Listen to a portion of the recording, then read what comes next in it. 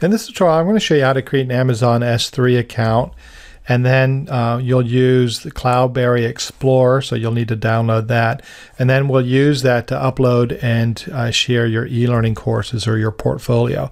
Now, the reason I like Amazon S3 is a few reasons. So a lot of people are using services like Wix, where you can create some really nice e-learning sites or portfolios. The problem is you can't upload your courses. So Amazon S3 allows you to upload your courses and you have a place uh, to store things and then share those using a web a web link. And then uh, some people are using Google Drive uh, to share courses or web pages. Well, that service is going to stop in August. So whoever's got that on there, that's going to have to be changed or uh, those links won't work. And then some people are using Dropbox, and Dropbox is fine, uh, but it's really not designed to serve e-learning courses. So sometimes you get into some random glitchiness or the um, the actions don't work right or the media doesn't play right. So it's not necessarily ideal. So Amazon S3 is nice. It's affordable and uh, it's really easy to use. Uh, it's it's not free, but you do get five gigabytes initially, and then after a year you have to pay. But if you look at the pricing, it's like three cents a gigabyte, and then whatever your data uh, use is. But you know, if you're not running a big business, it's just a portfolio. You're probably talking about you know a couple of bucks a year uh, to host uh, your your courses on there. Um, so anyway, what you'll need to do is you'll need to create an account. I already created an account, but go ahead and create an account. So walk through the process of creating an account. All right, so I'm signed in as Joe Demonstrator, and now uh, I know I have an account. Now what you need to do is uh, go to the cloudberrylab.com and download the Cloudberry Explorer. It's a free app, and then install that. And after you install that, you should have something like this. So you open it up. You kind of have two sides, and the way it is is like one side is this my computer, the other side will be my S3 account, and then I can drag and drop um, the files that I want to share. So I have it set up. It's going to my Articulate project. So if I publish to that folder, when I open up my uh, Cloudberry Explorer app, that folder will always be there, and I can just find the course I just published and drag it over. And then on this side, what we're going to do is we're going to want to set up a folder on our S3 service. So that's what we're going to do now. So I'm going to go to File, go to New S3 Account. So just come up with a name. I'll call it um, I'll call it My Portfolio. Doesn't really matter what you want to call it. Oops. Just uh, so you have an account name. And then this is where you're going to go to S3 and get an access key and a secret key. So go back to your S3 account, go up to your username, and there's security credentials. Now don't worry about mine. Um, this is going to be deleted, so none of this stuff is going to matter if you see it. So I'm going to go ahead and we're going to create a new access key. And you can download the key so you have it. I'm going to show access key. So I'm going to copy the access key and I'm going to go to my Cloudberry. I'm going to paste that. And then I'm going to come back to here and copy my secret key.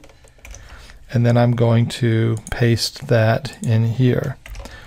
And then you can test the connection, all that. I'm not going to worry about it. I'll hit OK. Now you can see I've got my portfolio account on Cloudberry. So we'll go ahead and close that. And so I've got on one side, I've got my computer and whatever folder you want to link to. And on this side, I've got my, my portfolio. And so let's go ahead and create a bucket. So you get the link here, a new bucket. Now the bucket is like your main folder. It's the place on the Amazon S3 site. It has to have a unique name. So I'm going to create a new one. I'll call this one Joe Demo and hit OK. So you can see I've got a bucket. Now inside the bucket is where I can start putting my folder. So you can just double click on it.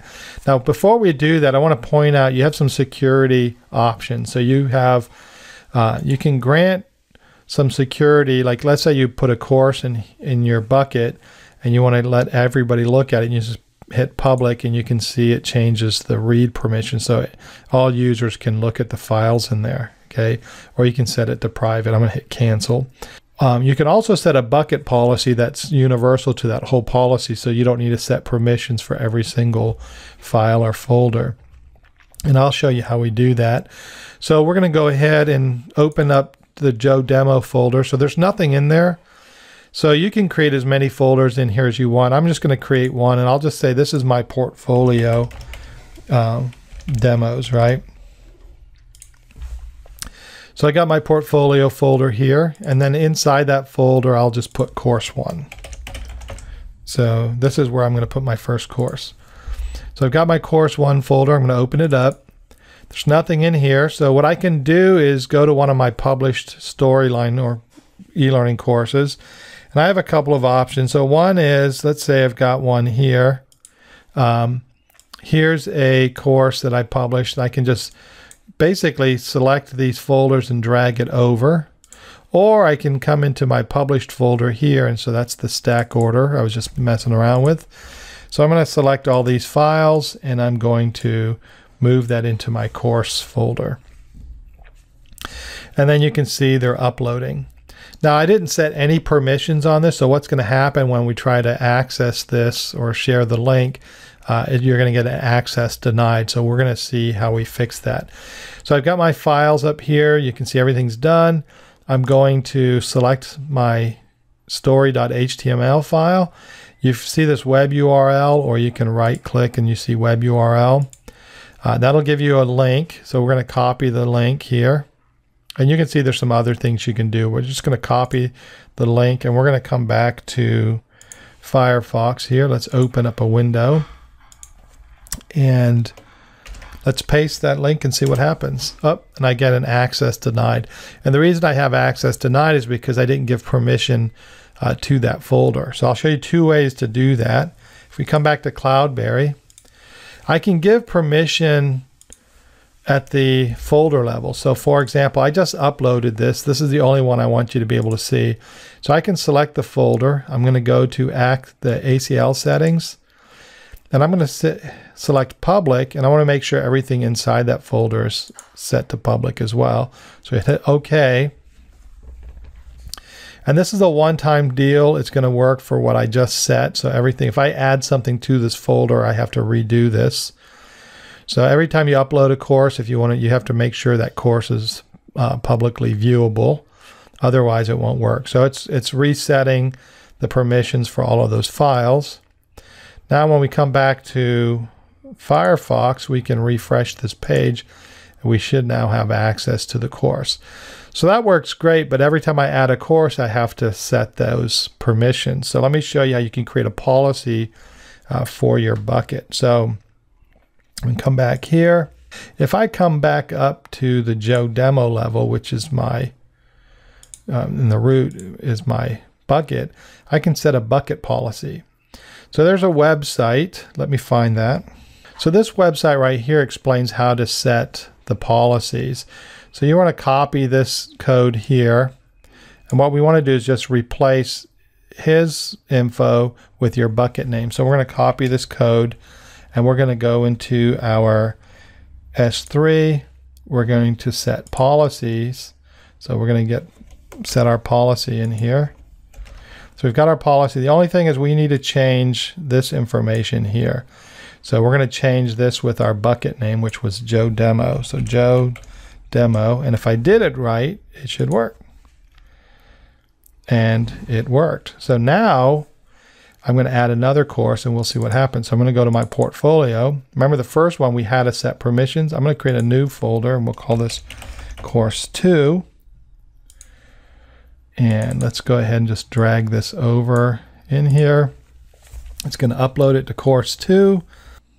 All right, so the course is uploaded. So I'm going to get my URL, so web URL. I'm going to copy this. Let's come back to Firefox and let's create a new link in here and paste it. And there you go. The course is working. So I created a policy that was universal to the entire bucket. So what's nice about this S3 is you can create as many folders as you want. So for example, you can have a portfolio folder and what you would do is just upload your courses in there. And then if you're using Wix or some other site, or let's say you're sharing your, your weekly challenges and things like that, you just have to get the URL. So you do the story.html, web URL, and you'll get the link right here. or you can do the HTML5 if that's what you want to do.